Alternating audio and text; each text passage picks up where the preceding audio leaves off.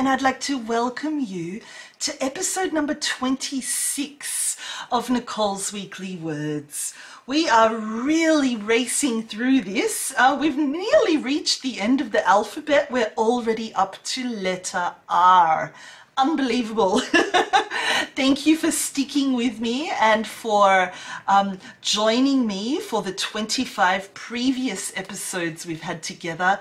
I hope that you have really been enjoying learning with me and that yeah, you're remembering your five new words every week and using them and still using the words from many, many, many weeks ago now. um, as I said, today what I'd like to do is to focus on the letter R. Um, there's lots of wonderful words uh, that begin with R, and I've chosen five which I think sound really impressive and which you will definitely learn something new with. And yeah, which hopefully you'll enjoy learning and enjoy using as well.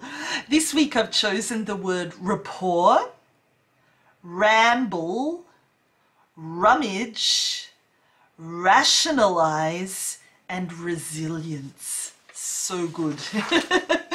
Before we begin, do not worry, okay? There will be a worksheet that you can download directly from my Facebook group, The Successful English Learner by Sydney English Teacher. And you'll have all of the words, all of the meanings, all of the example sentences right there for you.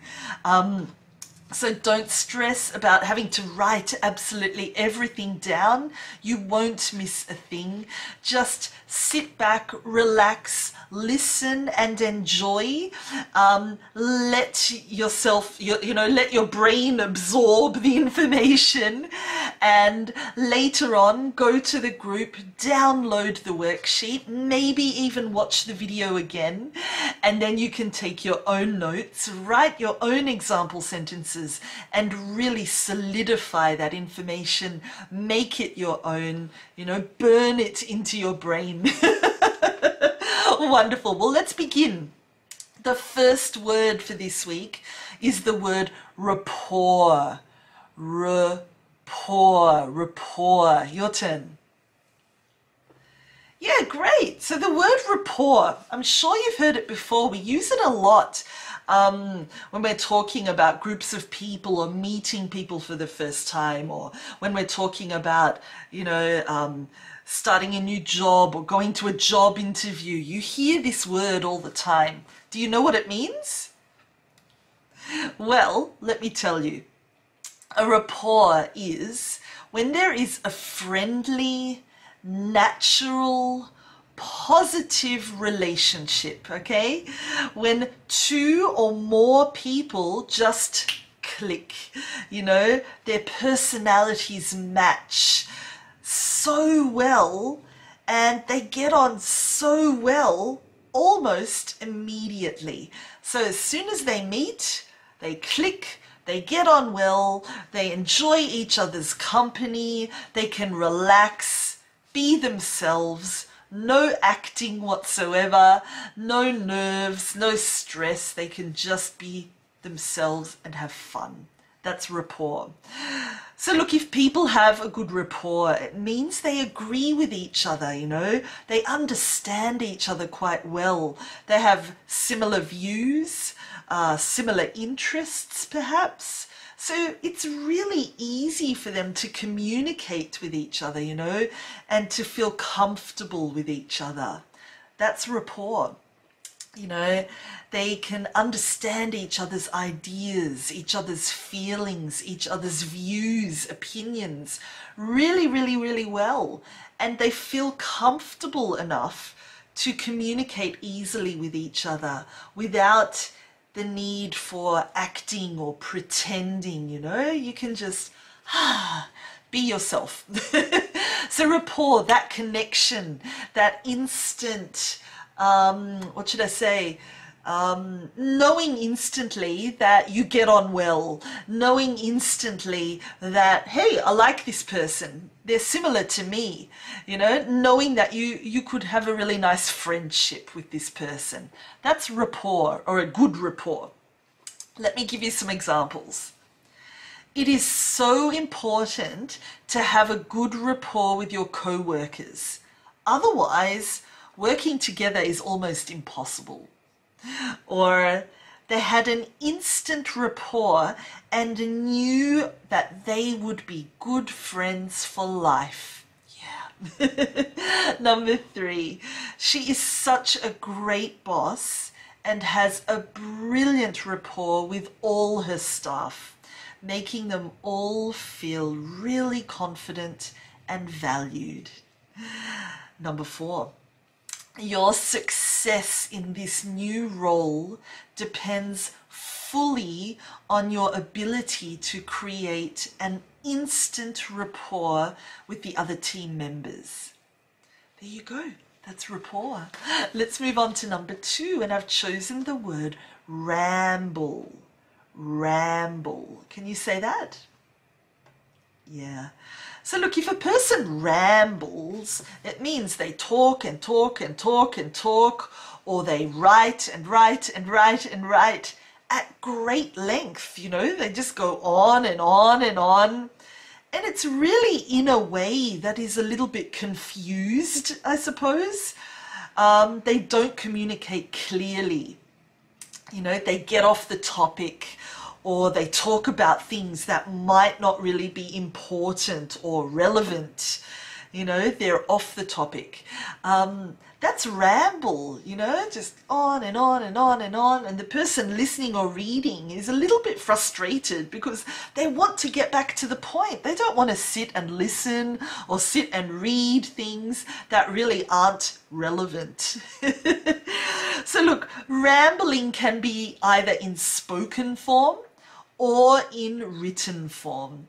You know, and it's when people talk or write without a clear aim, without a clear direction of where they're going, you know, of what they want to achieve. They just go on and on and on. And I suppose that people who are listening or reading don't really have an idea what they're talking about or what they mean. You know, it doesn't really make much sense um, it's not clear, it's not to the point. They go off the subject, you know. They themselves are quite confused in writing and in talking. So imagine what the listener or the reader thinks. Ah, utter confusion. so look, if someone rambles on, it could be quite boring or even annoying for the listener or the reader, and they'll lose interest in reading or listening, you know, if you ramble on. You don't want that. You know, the point of what you're saying has to be clear. You have to keep someone's interest. Otherwise, it's not real communication, is it? So to ramble or to ramble on, just go on and on and on and on and on. I will stop I don't want to ramble. Let me give you some examples. Number one, sorry for rambling. I'll get back to the main point of what I'm wanting to say. Number two, I wouldn't recommend reading this book. The story rambles on and on, and it's really difficult to read.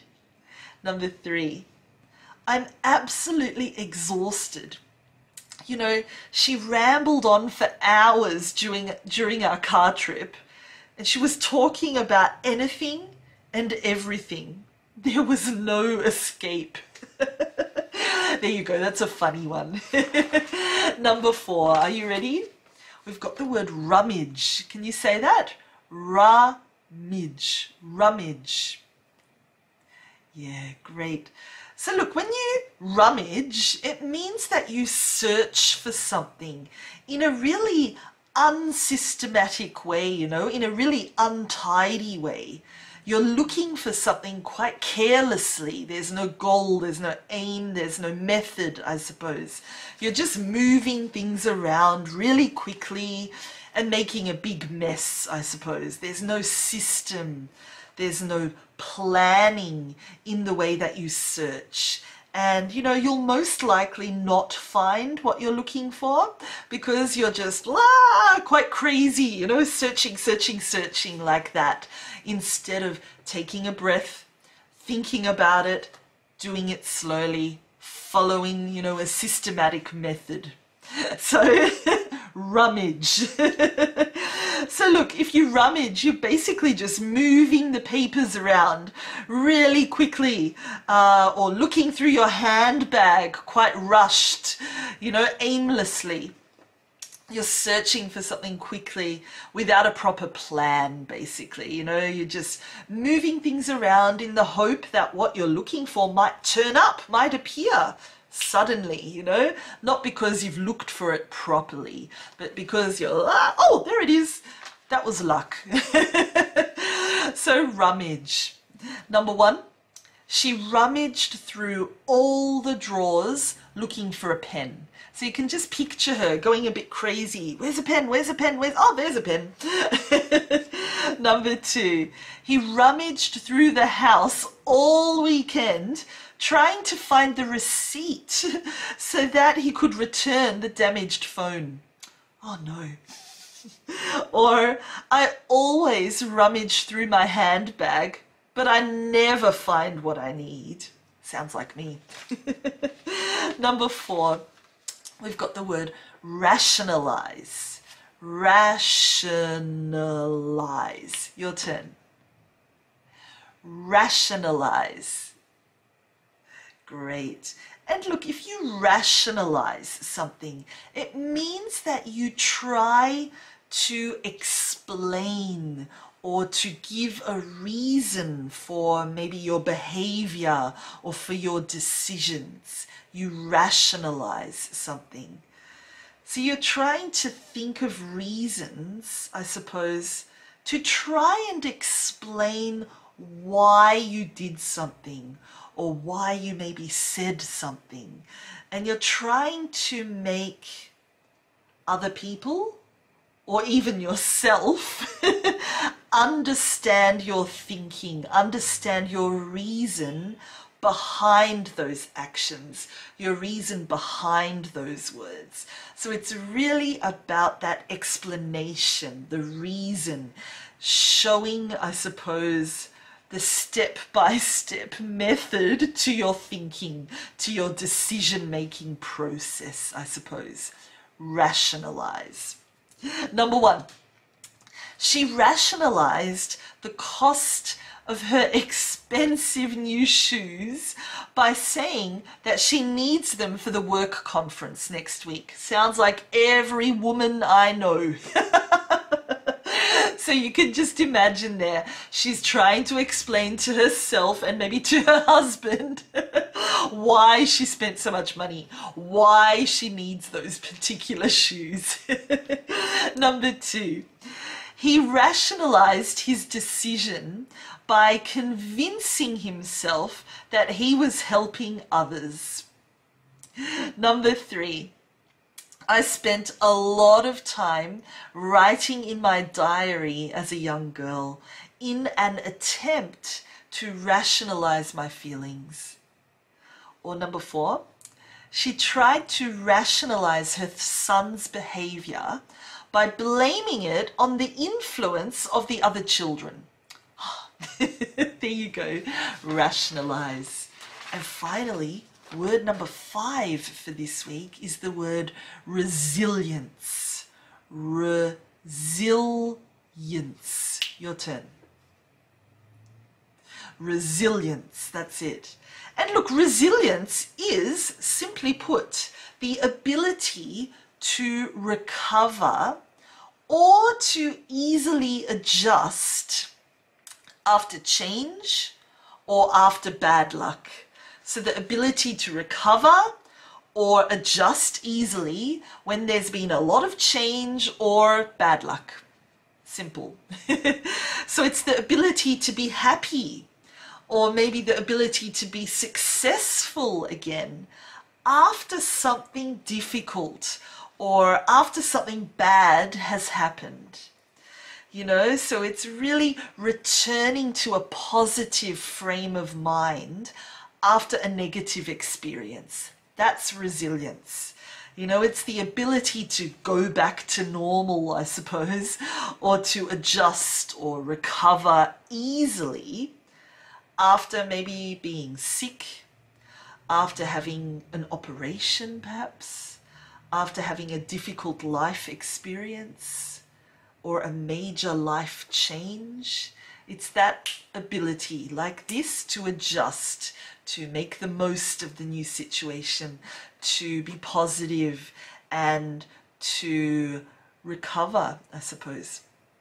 Does that make sense? Yeah, look, resilience, important skill to have for all of us. Um, especially in the last 12 months with a global pandemic. You know, we have all proven that we have resilience, we have great resilience because we have adjusted to a new normal, to a new life, to a new way of living and doing things. So, yeah, congratulations, you all have a lot of resilience.